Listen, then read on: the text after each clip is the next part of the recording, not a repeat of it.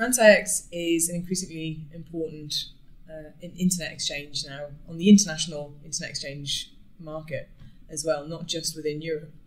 So we were getting a lot of demand um, from our customers. They were actually giving us a lot of feedback that they wanted to be at France IX as n- not just the big three internet exchanges anymore, but France IX was becoming uh, included in this the big four now in Europe. So it was partly customer demand, um, but also uh, we enjoy working with France IX. We, we had some good conversations initially about that, and they were very professional. Um, we get a lot of good uh, communication from the industry that they're, they're very professional, they're very robust, and problems are, are sorted very quickly. So that's the kind of partner that we want on board, um, and that someone like France IX, who is, is growing so quickly, can grow with us. Some customers ask for France IX for redundant reasons. They, they may appear at one of the other big international inter- internet exchanges in Europe, and then France IX is the next choice, so that they have a little bit more resiliency. Um, but then uh, we do also have a lot of customers who are based in regions like Switzerland, for example. So you get the Swiss French. There's also areas of Africa and the Middle East that have a, a lot of French speaking uh, regions. So they want to access French content. They want to get closer to those regional peers as well as the international community, uh, the peers at France IX, so they can then deliver that content via, on their network.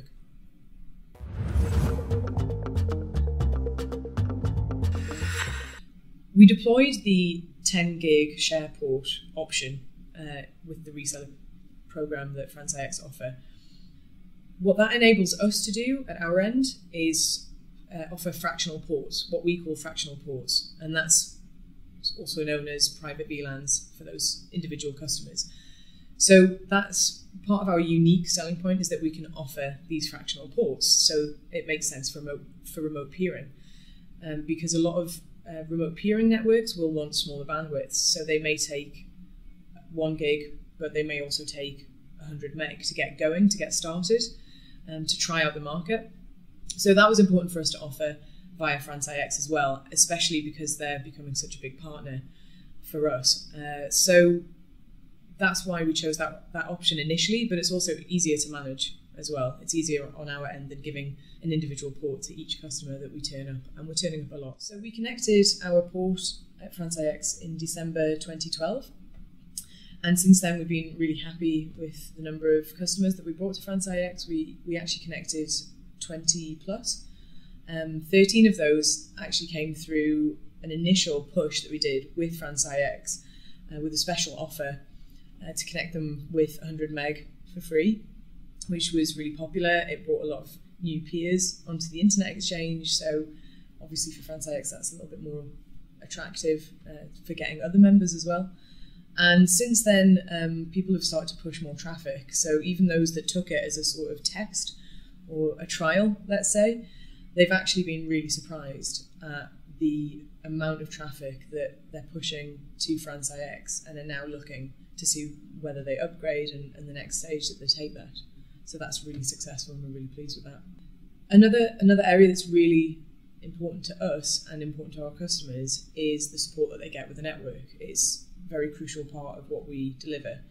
And we pride ourselves on our own 24-7 NOC and the support that they get around the clock. Um, and one of the things that France IX is extremely good on, and we're extremely grateful for, is that they also have 24-7 NOC that's extremely reliable, problems are sorted very quickly.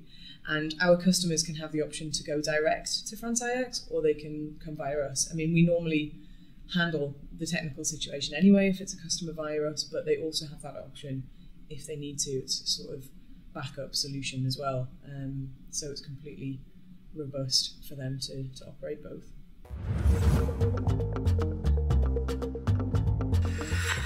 Our network is sort of naturally evolving. We started off in London, Paris, Frankfurt, and Amsterdam.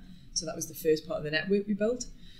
And then we expanded into Europe. So we have a very good foothold in Europe, and our network is extremely strong in Europe. We then started to expand out from there into the US, for example. So we had transatlantic capacity over into the US, and we have um, west to east coast as well.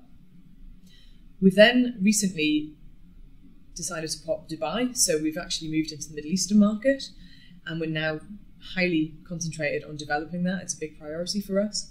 So we're, we're now turning up a lot of important customers from the region who are now wanting connectivity to the rest of our network in Europe and the US, for example. And from there, we've sort of naturally evolved into what looks like the Asian market as being the next priority. So some of the Middle Eastern companies um, have a, a strong demand for the Asian market as well. So LA is now an extremely important hub for us. Um, so we're it looks like we're now going to go into into those markets and really concentrate on those. Marseille is becoming an, ex, an interesting hub now, and it's it's going to be interesting to see what happens now going forward because there's a lot of companies from the Middle East um, and further afield actually into Asia as well who are landing their international capacity in Marseille.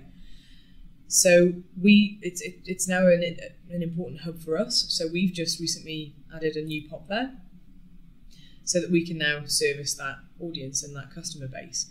And from that point, we can actually connect people into Europe, to the major internet exchanges, to France IX in Paris, for example. There's also France IX Marseille that's going to become an interesting uh, hub as well for, for interconnects and peering.